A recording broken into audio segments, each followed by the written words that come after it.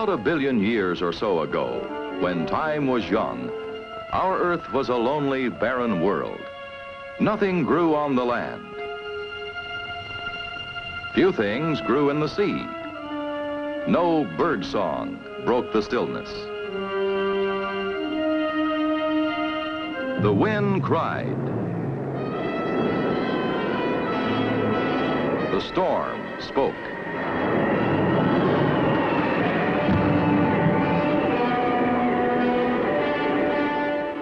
And within the earth, violent forces were at work, contesting, molding, preparing for time to come. Beneath the Earth's thin, constantly changing crust, molten rock flowed and burned under tremendous heat and pressure, striving to find release. When the crust was torn by subterranean upheaval, molten rock spewed upward.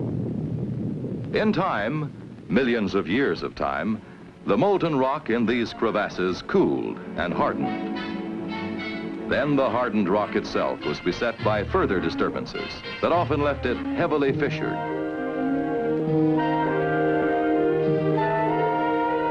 Theory says that through these fissures flowed hot mineral-bearing waters and gases, and as the Earth spun off more millions of years, they crystallized, and in so doing, formed the most unusual and useful mineral fiber known to man. Largely unseen, seldom recognized, it has played a tremendously important role in the improvement of our standard of living. As you might expect, the Greeks had a name for it. They called it the unquenchable, indestructible stone. They called it asbestos.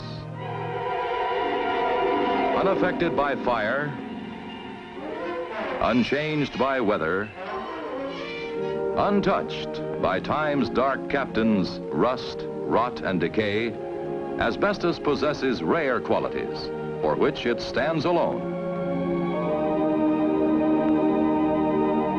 So fine are the individual asbestos fibers that it is only through the eye of the powerful electron microscope that they can be properly studied. Even when magnified 31,000 times, they appear delicate, gracefully hiding the fact that they are incredibly strong, stronger than many types of steel wire of the same thickness. At the same time, they are remarkably flexible and highly resistant to most chemicals. Man has never been able to duplicate their fibrous properties for commercial use. The most commercially useful variety of asbestos, called chrysotile, has been found in widely separated parts of the world. Only Canada, Africa, and Russia have abundant quantities. Less common types of asbestos, such as crocidolite and amosite, are mined mainly in Africa. The world's largest asbestos mine is the Jeffrey Mine at Asbestos, Quebec, so named for nature's magic mineral. Most deposits have a 10 to 25 year life, but this one has been yielding for more than half a century. And even under the pressure of growing demands, it is expected to produce for another 100 years. The more than 500,000 tons of top-grade chrysotile fiber extracted yearly provide nearly a third of the world's total supply.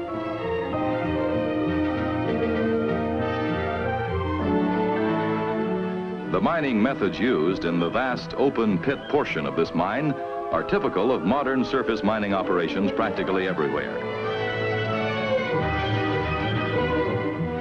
By drilling and blasting and digging, it has grown.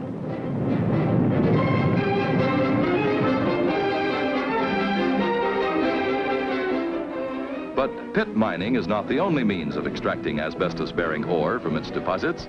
Another productive way is called block caving. In open pit mining, the asbestos ore is removed from the top of the deposit. In block caving, the ore is taken from underground.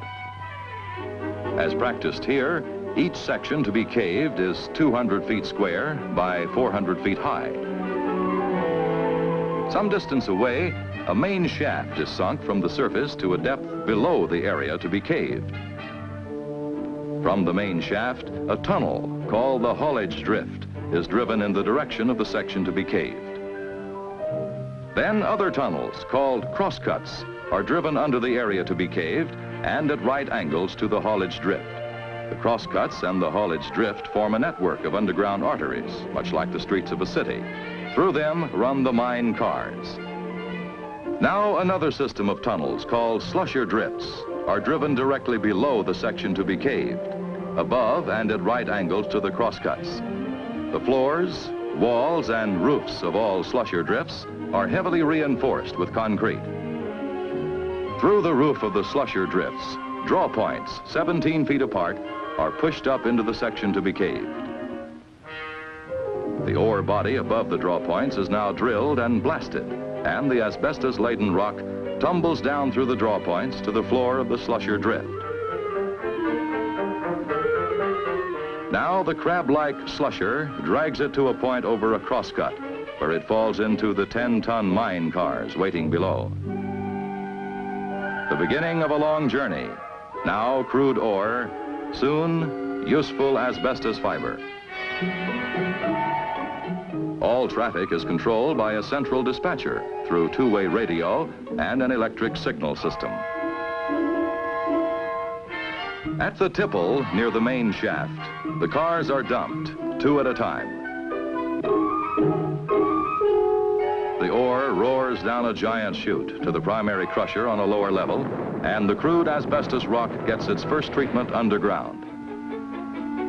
From the crusher, it will go downward into bins and then a loading pocket from where it'll be hoisted in 12 and a half ton mouthfuls by fast-moving skip buckets that shoot it to the surface. Working underground, the miners utilize the most advanced mining methods using fast boring drills. In their many different jobs, they are protected and guided by the highest safety standards. Light, power, ventilation, structure, all are important in the daily production of thousands of tons of ore.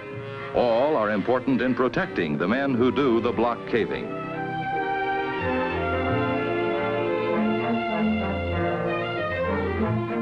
From beneath the earth and from out of the open pit, asbestos-bearing ore, crushed and dried, comes by way of conveyors to the dry rock storage shed, where it is housed in great quantities until needed at the mill.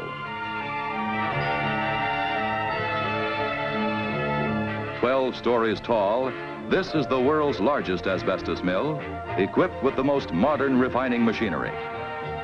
Remarkably dust-free, performing every operation of an asbestos mill on a grand scale with extreme precision. Into its air-conditioned immensity, the asbestos fiber comes to be stripped from the mother rock in a series of operations basically typical of those at many asbestos mills.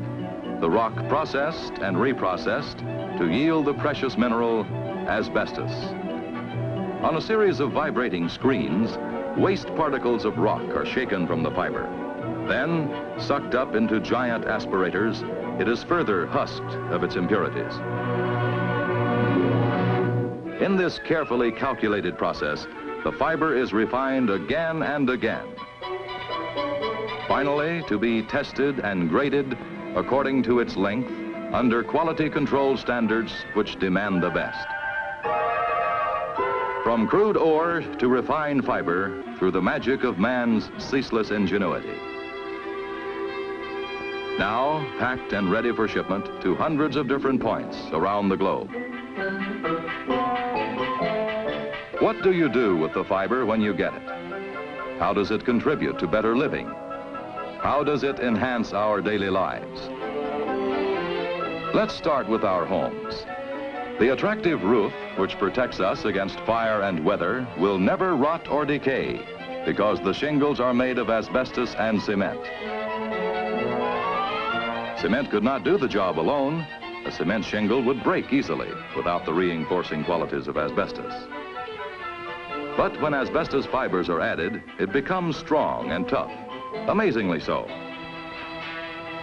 Strong enough and tough enough so that it can even be made into large, flexible sheets like these.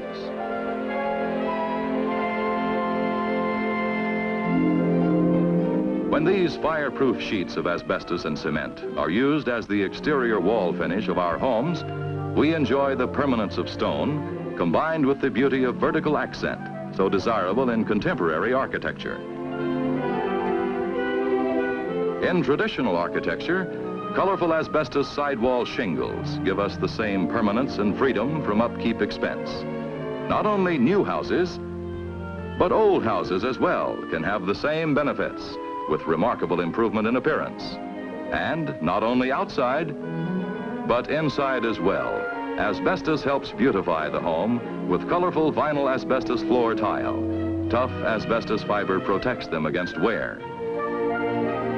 In the cords of household appliances that demand heavy amounts of electricity, asbestos provides protective insulation. And no matter how long little Johnny plays with his electric train, Asbestos insulation in the transformer offers similar protection.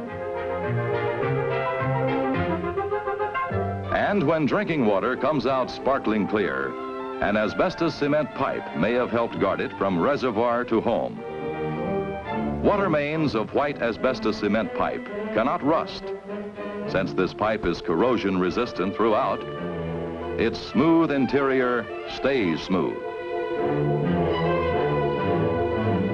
Asbestos cement pipe also provides a health line in carrying off waste from our homes to the street sewer. It is strong, long-lasting, and economical.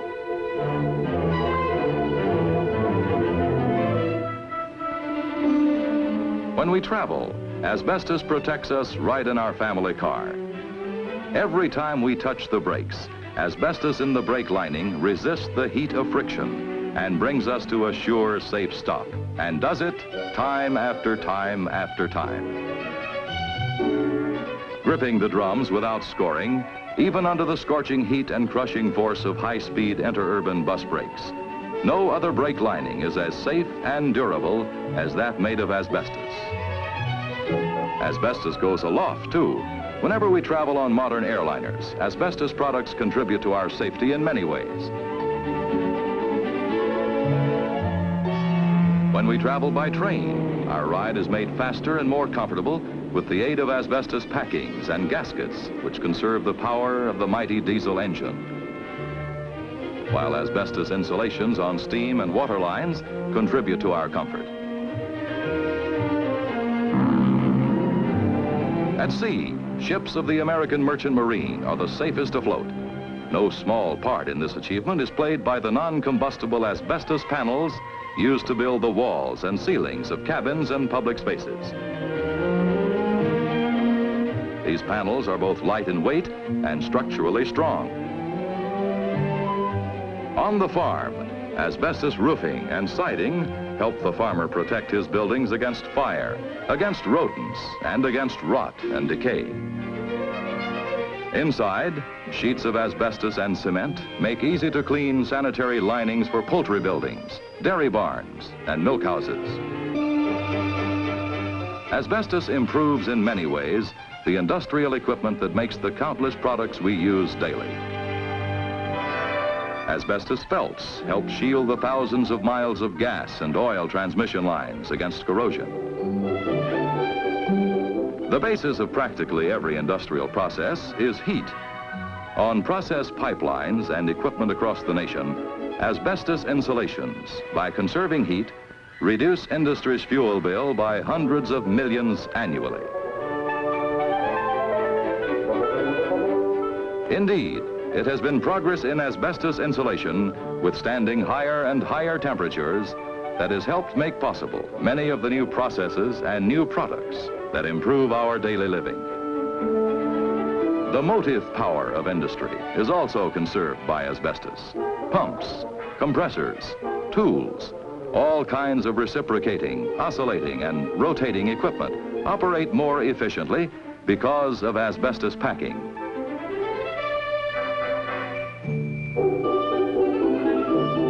And asbestos gaskets prevent the escape of fluids and gases from a wide variety of pressure vessels. Asbestos friction materials control motion, withstanding the heat, shock, and strain of braking, holding and releasing the drums of cranes, drills, dredges, and other heavy equipment. Asbestos can be made into the thinnest of paper, and in this form is widely used in the electrical industry, enabling transformers, motors, magnets, and other apparatus to carry heavier loads, getting more electrical productivity without enlarging equipment, and thus keeping power costs down for both industry and the homeowner. Asbestos cement ducts are used to enclose the cables that carry electricity underground. Costs are reduced, and we are better protected against interruptions of service. Asbestos fibers can also be spun into yarn, like cotton or silk. Yarn which is woven into strong protective fabrics of various thicknesses and weights. Industry finds wide uses for asbestos in the construction of its buildings, just as the farmer and homeowner do. So do schools, hospitals, and public buildings. Roofs built of asbestos felts bring added fire protection and effectively safeguard the buildings and their contents. Asbestos cement exterior walls provide the freedom from maintenance that building owners want. Rust-proof and durable, they are resistant to chemicals, fumes, heat, smoke, steam, and weather. Inside the building, asbestos movable walls make it possible to change space layouts without a costly loss of time and with complete salvage of existing materials.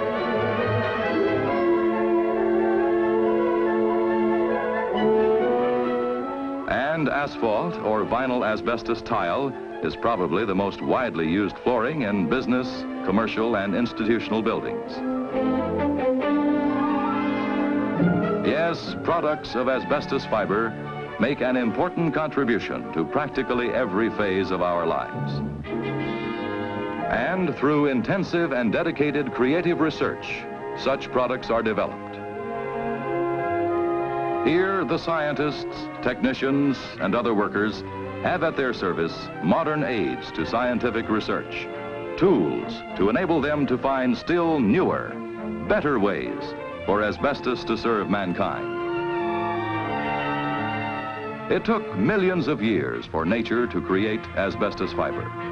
It was only a hundred years ago that a man named H.W. Johns had an idea how it could be made commercially useful. This is how that idea has grown. From one man to thousands of men and women. To mines and factories in the United States, in Canada, and across the sea.